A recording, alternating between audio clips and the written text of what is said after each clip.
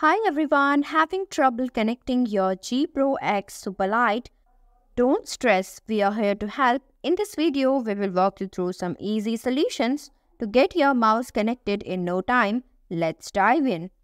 Fix 1. Update the receiver firmware.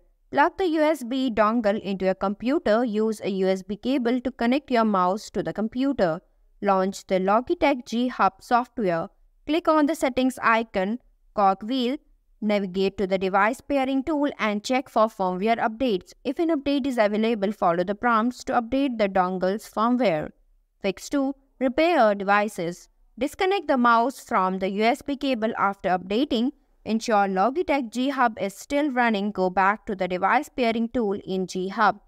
Turn off your mouse, then turn it back on and follow the prompts to repair it with the receiver. Fix 3. Check for software interference. If you have other peripherals management software like Razer Synapse, close these applications as they may conflict with Logitech software. Fix 4. Test on another computer. Use a different computer that has Logitech G Hub installed or is compatible with USB devices. Plug in the wireless receiver and test if the mouse connects successfully on this device. Fix 5.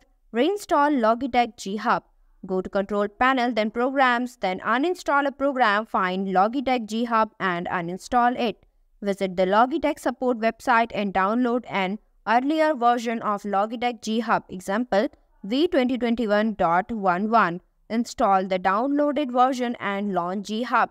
Plug in the wireless receiver before connecting the mouse to ensure proper recognition.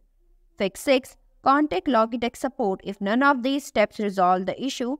Reach out to Logitech support for further assistance. I have provided the link in the description. You can directly go through it. They can provide troubleshooting tips or warranty service if necessary.